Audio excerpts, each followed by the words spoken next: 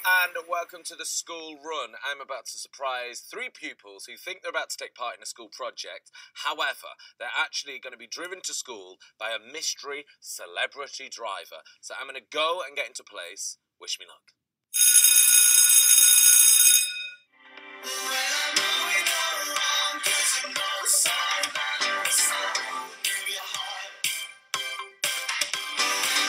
So you thought you were going to go on a school project? Yeah.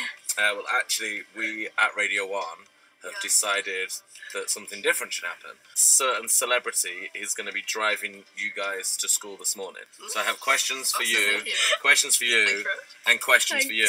You're going to ask those questions as they drive you to school. Okay. Okay? Cool. Yeah. Well, good luck, guys. Thank you. Um, you have the questions. Thank you. Uh, you have the power, We have. and I'll see you at school. Okay. I'll be getting in in a second. Bye. Guys, what the hell? I want a, sel- I want a selfie with him. I, I was Should going to get a selfie with Nick test? Grimshaw. Same, I was like, I, think, I thought he was Oh, driving to God. school. To Can I ask some questions. Guys, that is so cool. He's so cute. Oh my god. He's on my screensaver. Good morning. Hello.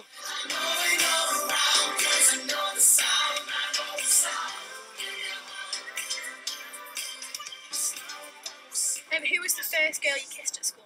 I remember I kissed Keris John at the school disco in like a proper school disco moment where I was like didn't know what to do.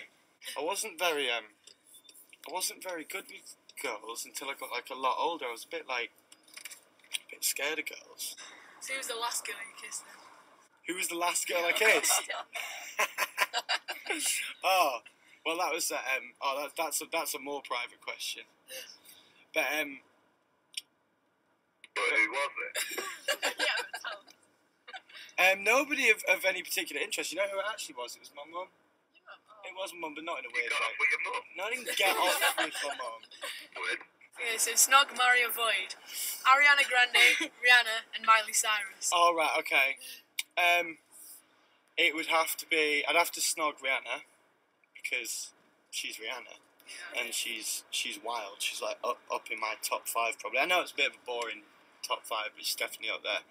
Um, I'd probably avoid Ariana, even though I do think she's got a great voice. I'd have to marry Miley.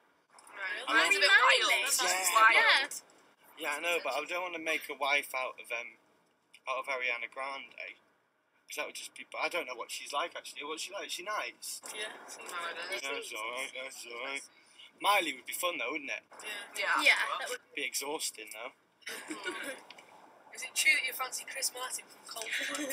it's true that Grimmy fancies Chris Martin from Coldplay. But the reason that I do fancy Chris Martin from Coldplay a little bit is because he's the type of person that you see on the telly and you think, nah, not really. Do you know what I mean? He's not like, ooh.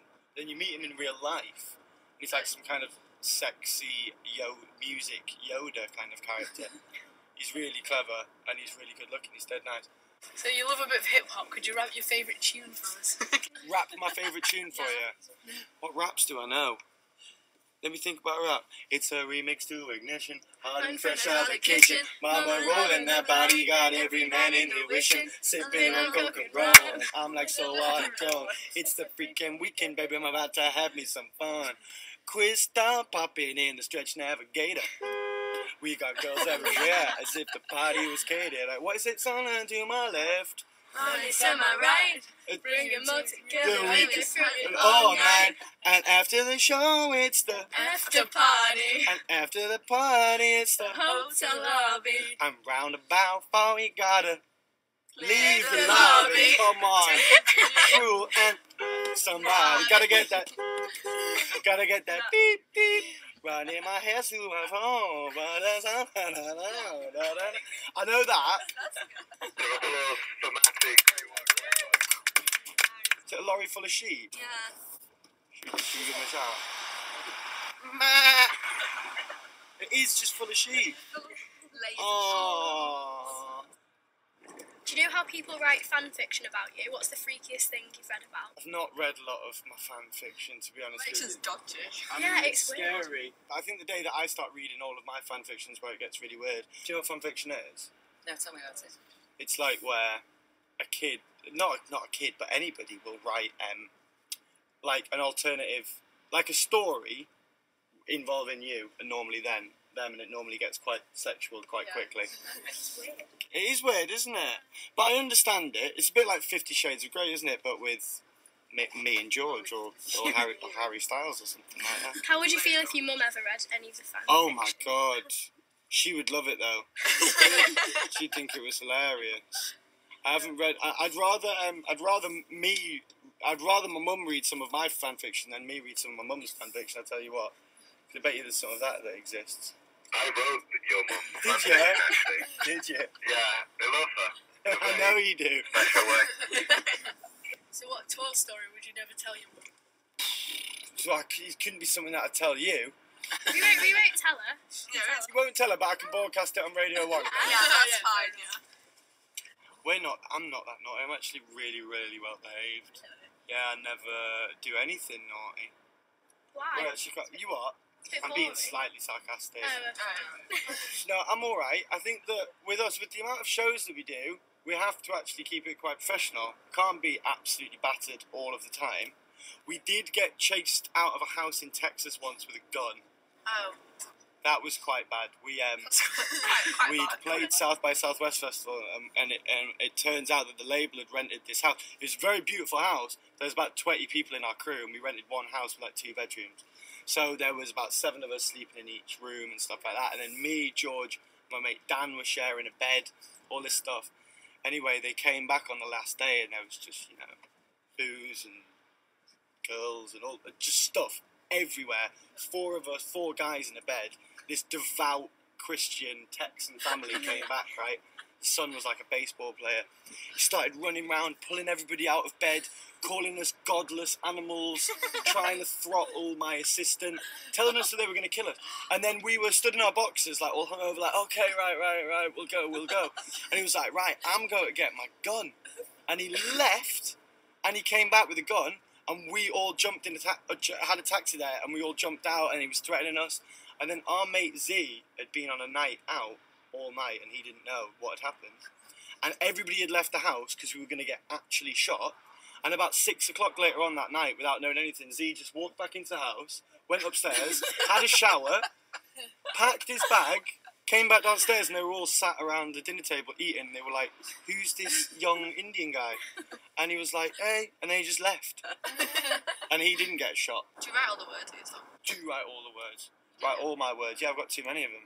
Yeah, when we, do you write? When are you most inspired? most of the time is when I'm driving. really? That's the thing, driving up and down the A34 to Manchester and Wilmslow. That that's where I wrote so much of that first album. Now that you're um, in the car and you're on the road and you're driving, which is where you are inspired, could you guys try and write us a song? Yeah, if it's sure. good, I'll play it on the radio tomorrow. Okay, Grimmy, I'm gonna drop a beat. You're gonna fit a lyric over the radio. Received. Right, here we go. It's like fix up the chart. Here we go. Sorry, sorry, Okay, okay, sorry. okay, I interrupted the flow. I interrupted the flow.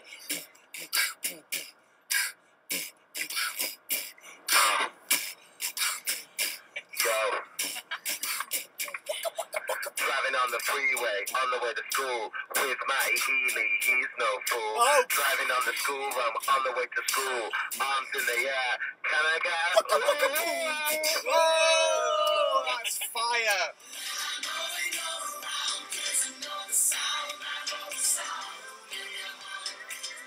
Right, we're at school. We've made it to school. Yay! Everyone.